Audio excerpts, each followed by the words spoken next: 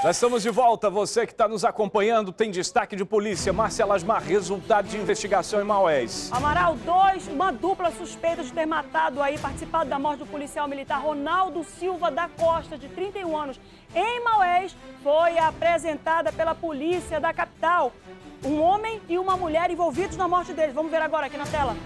Lohane Kathleen da Cruz Fernandes, de 22 anos, e Elzo Lacerda de Souza, de 28, vulgo Júnior, chegaram a Manaus no final da tarde e seguiram para o Instituto Médico Legal, onde foram submetidos a exames de corpo de delito. A dupla estava sendo procurada desde o dia 12 de fevereiro, quando fugiu de barco de Maués.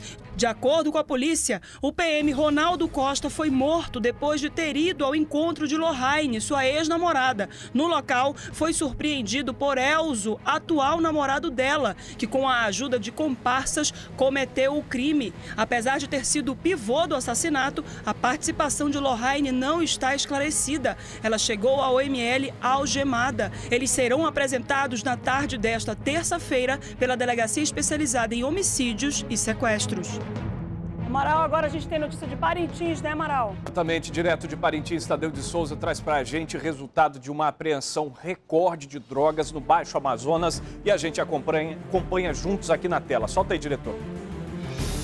Na boca de fumo foram apreendidos 6,5 kg de maconha prensada, 1 kg de cocaína pura, 440 gramas de pasta base de cocaína e 400 gramas de ox, outro derivado da cocaína uma balança de precisão para pesar a droga, rejunte, celulares, um microciste, dois aparelhos de TV e mais duas motocicletas.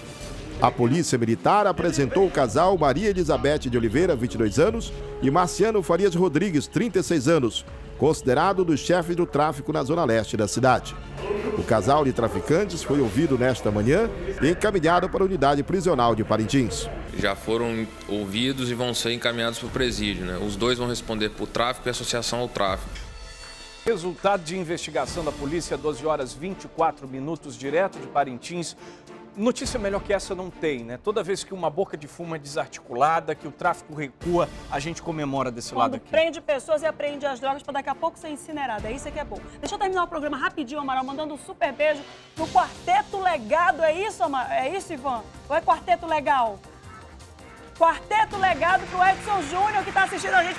Um grande beijo, viu, Edson? E pro Michael também. Ah, o Michael, aquele que cuidava da gente aqui do nosso ponto. Tudo bem. Um beijo pra vocês, até amanhã. Obrigado pela audiência. Você de casa, nos espere que amanhã a gente volta. Temos um encontro daqui a pouco no Jornal em Tempo às 6h20. Até lá!